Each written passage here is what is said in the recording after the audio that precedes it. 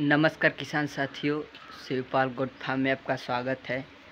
तो आज हम इस वीडियो में बताने वाले हैं कि अगर आपकी बकरी को बच्चा देने का समय नहीं पता चल पा रहा है, अगर आपकी बकरी पाँच से दस दिन में बच्चा देने वाली है, उसे कैसे पता करें कि वो दो से चार दिन के अंदर बच्चा दे दें? सभी किसान भाई मंडियों से बकरी को ख़रीद के लाते हैं। और वो गाभिन बता के दे देते हैं और गाभिन बकरियों को भी कैसे पता करें, इस वीडियो में हम दोनों बातों को जानेंगे। अगर हमारे चैनल पर नए हैं तो चैनल को सब्सक्राइब कर लें, क्योंकि बकरी पालन से संबंधित हम वीडियो बनाते रहते हैं। तो आपको सबसे पहले बताते हैं कि अगर बकरी आपकी चार से पाँच दिन या दस दिन में बच्चा देने वाली है तो उसका कैसा लक्षण क्या क्या लक्षण उसके आएँगे? तो सबसे पहले देखिए, ये एक बकरी है। इसके देखिए, अगर ये बच्चा देने वाली रहेगी, देखिए सबसे पहले इसका थन देखिए जो छोड़ रही है।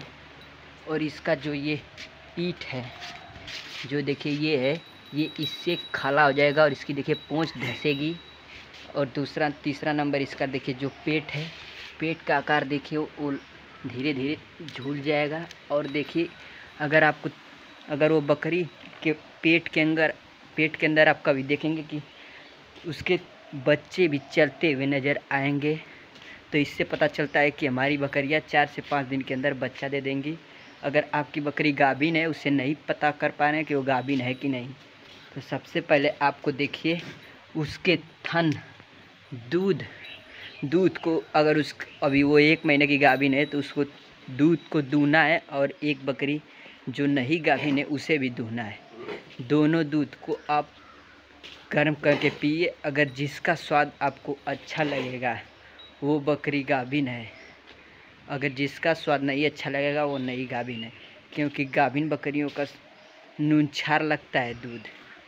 तो और दूसरा नंबर, और वो गाभी रहेंगी तो उनका ये जो हिस्सा है, उनका जो ये है, पीठ वाला हिस्सा, ये धीरे धीरे ऊपर होता है। मतलब ये खलार की जैसे रहता है तो खलार नहीं रहता है, ऊपर रहता है।